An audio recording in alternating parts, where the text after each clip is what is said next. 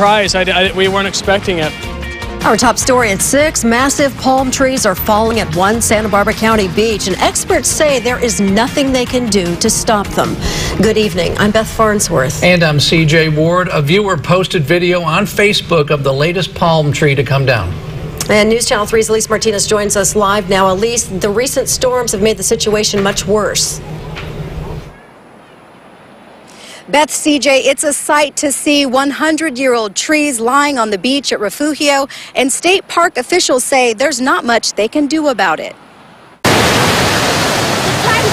Young children play near a fallen Canary Island date palm tree at Refugio State Beach. The tree once stood tall in a neat line of palm trees along the shore. It's uh, a major surprise. I, I, we weren't expecting it. Now all of the palm trees are being worn away by high tides and coastal erosion, waves and wind weakening their roots. State parks officials say four trees came down in recent storms. I think it's beautiful.